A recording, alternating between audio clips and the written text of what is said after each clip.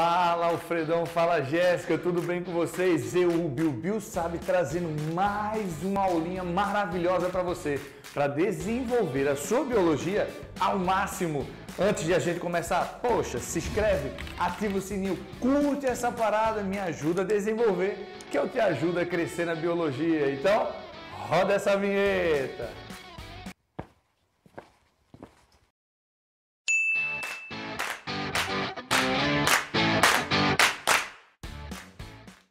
Agora a gente vai falar da respiração celular em si. Vem comigo aqui, ó. Primeiro, respiração celular. O que seria a respiração celular? Respiração celular nada mais é do que isso aqui, ó, um processo importantíssimo onde ocorre a oxidação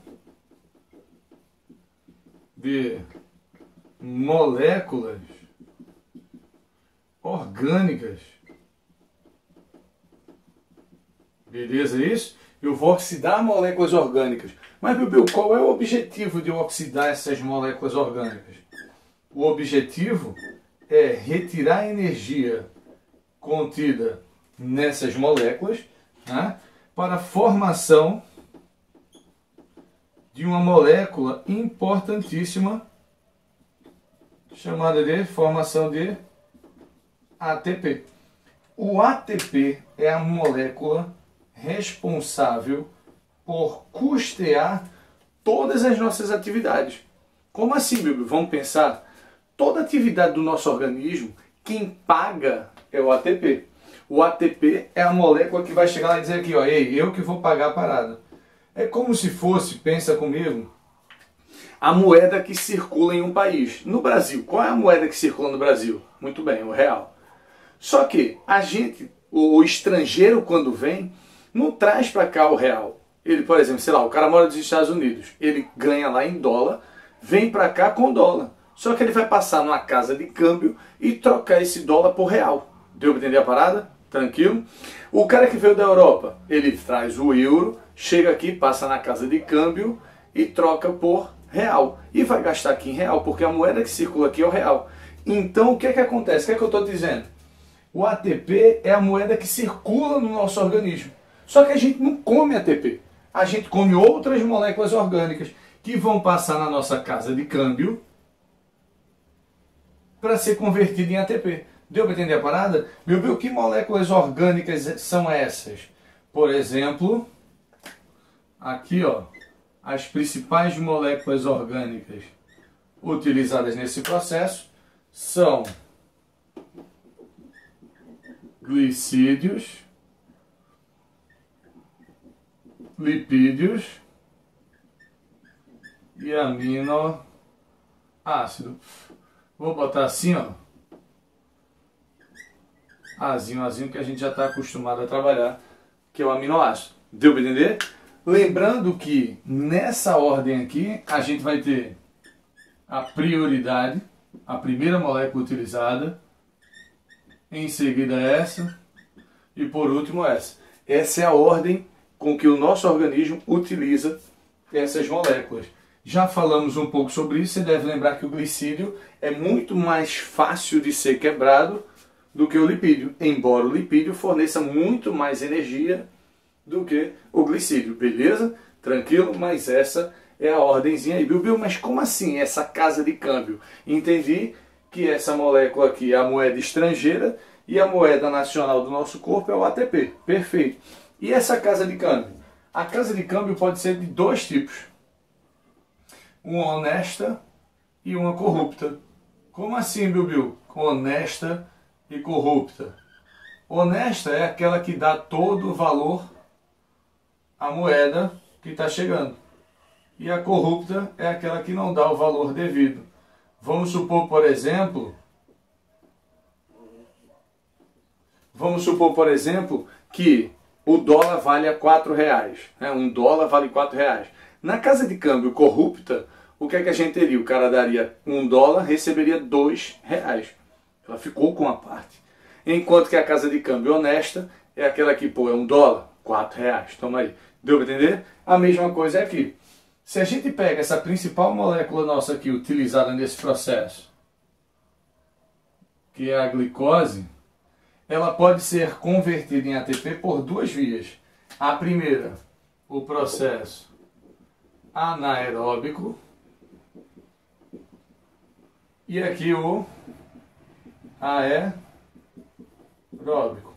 Foi ou não? No anaeróbico, quais são as características desse processo? Primeiro, esse cara não utiliza o oxigênio. Beleza? Então, o primeiro ponto é que ele não utiliza oxigênio. Sendo assim, a oxidação é incompleta. O que quer dizer ela ser incompleta? Quer dizer que eu não vou oxidar tudo, eu não vou conseguir tirar tudo que essa molécula pode me oferecer. Sendo assim, o produto final ainda possui o que? Energia, beleza? Então ele ainda vai possuir energia. Quer dizer que depois de eu fazer esse processo aqui, o que sobra ainda tem energia. A gente vai entender o porquê. Outra coisa, o saldo energético é de 2 ATP. Deu para entender? Então a produção de energia é muito baixa, beleza? E o principal exemplo aqui é a fermentação. Tranquilo? Bilbil, ah, então esse processo aí só ocorre em seres unicelulares, coisas mais simples. Não, cuidado com isso. A maioria dos seres unicelulares, beleza, pode ocorrer dessa forma, mas não quer dizer que só unicelular tenha. Nós realizamos a fermentação, um tipo chamado de láctea, que a gente vai falar depois. E somos pluricelulares. Beleza? Agora, o processo aeróbico, esse cara aqui utiliza o oxigênio, consequentemente, a oxidação é completa Oxidação completa quer dizer o quê? Que o produto final, obviamente, se é produto é final, não possui energia. Quer dizer que eu tirei toda a energia que esse cara poderia me dar. Beleza? Que a gente vai comentar isso já já. O saldo energético é de aproximadamente 36 a 38 ATPs. Deu para entender a parada? Muita coisa, a gente vai conversar um pouquinho sobre isso já já. E, consequentemente, aqui ocorre a participação da mitocôndria. Foi ou não? Então vamos pensar um pouquinho aqui nesse resumaraço, aço, aço. Beleza? Para a gente começar a falar especificamente de cada um. Preste atenção no que a gente está falando aqui. Primeira coisa, a respiração celular, é o, o objetivo disso aqui ocorrer, ou esse processo, é oxidar moléculas orgânicas. Beleza? Eu vou oxidar essas moléculas orgânicas para quê? Para tirar a energia dela. Viu, viu? Mas onde está a energia dessas moléculas aí. A energia desse cara está justamente na ligação entre carbonos. Molécula orgânica não é formada por carbonos? Então tá aqui, ó. Foi? Esse carinha aqui, a energia tá aqui, ó. Nessa quebra aqui.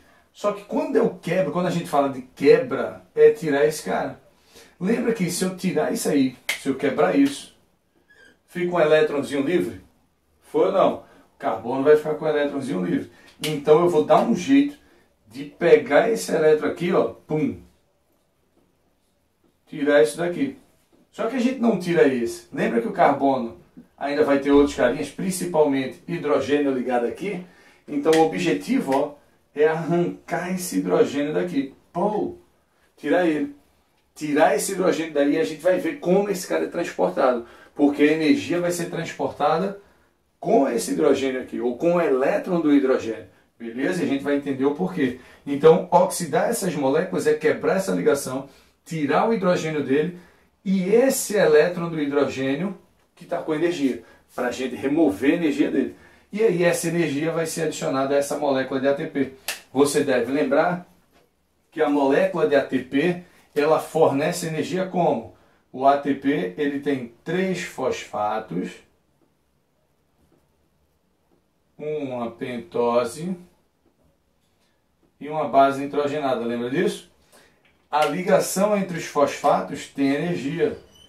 Então, quando ele quebra isso aqui, ó, libera energia e forma o quê? ADP. Então, raciocina comigo. Quando eu quero gastar energia, por exemplo, na contração muscular, que a gente vai entender isso como ocorre hoje. Essa energia vem daqui. Só que para que eu tenha essa molécula, eu preciso que esse processo ocorra. E para que esse processo ocorra, eu preciso me alimentar. Deu para entender? Então a logística aqui é o seguinte: o ATP custeia as atividades que a gente vai realizar. Quando ele quebra, separa aqui, formando o que a gente chama de PI, fosfato inorgânico, porque ele está solto. E aqui o ADP. Deu para entender? Então, o meu objetivo é quebrar o ATP para custear minhas atividades. O ADP mais o PI que se forma, de alguma forma, que a gente vai entender hoje, eu preciso juntar esse cara para formar ATP de novo. Para juntar isso, eu preciso fornecer energia. De onde vem a energia? Desse processo. Então, esse processo ocorre para que as moléculas de ADP e PI sejam unidas por essa energia desse processo, formando novas moléculas de ATP. Todo mundo entendeu isso? Fechado.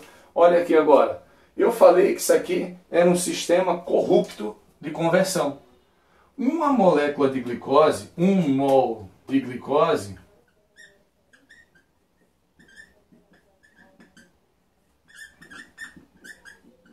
por exemplo, se ela for utilizada nesse processo aqui, ela vai gerar ó, dois ATPs. Pouca coisa, pouca coisa. Agora, se eu pegar esse mesmo mol de glicose e utilizar isso num processo aeróbico, olha meu saldo. Muito maior. Deu para entender a parada? Muito maior.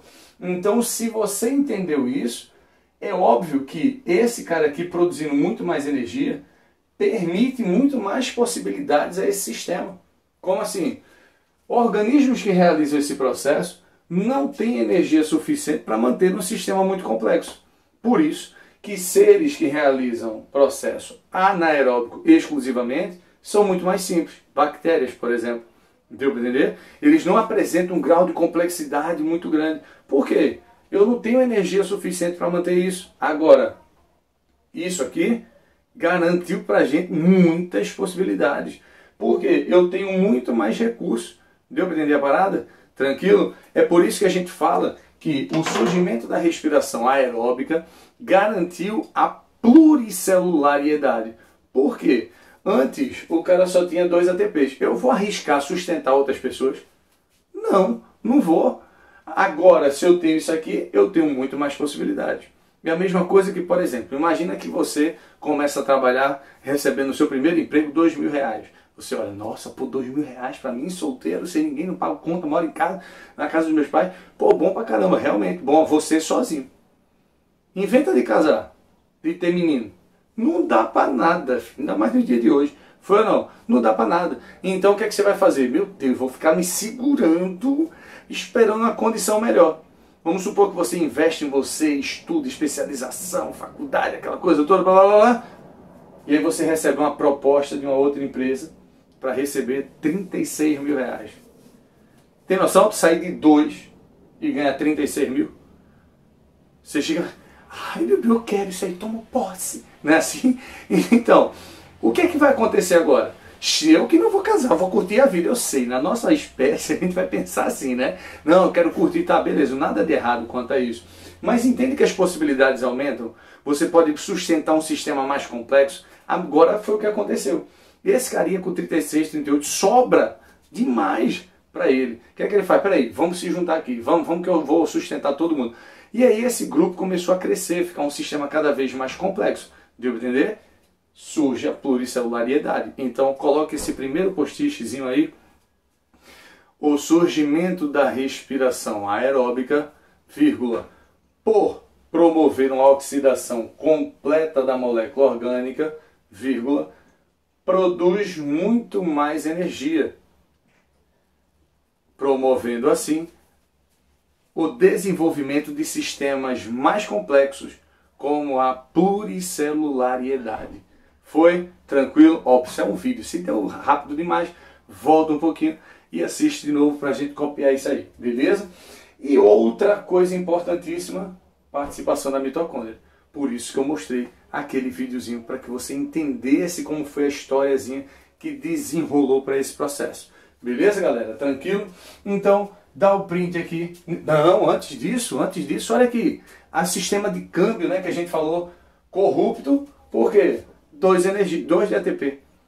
E esse cara aqui, 36, é o honesto, fornece muito mais energia, dá todo o valor que ela tem. Beleza? Outra coisa que é legal a gente falar, eu costumo comparar isso aqui também com o caldo de cana. Caldo de cana do Xing Ling e caldo de cana de feira. O caldo de cana daquela loja de Xing Ling lá do pastel, do flango, seu flango, show flango, né? Do, do Xing Ling. O cara bota a cana, ela já cai no lixo. Mal dá um copo. Então não é? Vai na feira, o cara vai, pé, dobra a cana e pé, enrola ele, pé, bota uma pedra dentro e pé, rapaz, acaba, tira a cana, o caldo da cana todinha. É ou não é? Então a mesma coisa é aqui, ó. Tira tudo que ela pode dar. E aqui só uma parte. Entende que a cana do Xing Ling, quando termina, dá para tirar caldo dela ainda, só que eles não usam. Deu para entender? Agora aqui, sobra nem um bagaço. Foi ou não? Todo mundo entendeu isso aqui? Tranquilo? Outra coisa importante é que isso aqui é certo, beleza? 2 ATPs e tal. Mas aqui é uma adequação, beleza, galera? A maioria dos livros trazem 36 a 38. Só que isso ninguém bateu um martelo ainda. Por quê? Porque existem discordâncias em relação à quantidade de ATP produzida nesse processo. Tem livro que fala 36, 38, tem livro que vai falar 22, 18. Eu já li coisas aí que, por muito diferente. A própria prova da UERJ aborda de um jeito diferente do Enem. Beleza? E a gente vai trabalhar isso quando for nesse ponto específico. Agora sim, dá o print na tela. Isso aí, curtiu essa parada até aqui? Então, poxa, dá esse like, comenta aqui, se inscreve no canal, beleza? E até a próxima!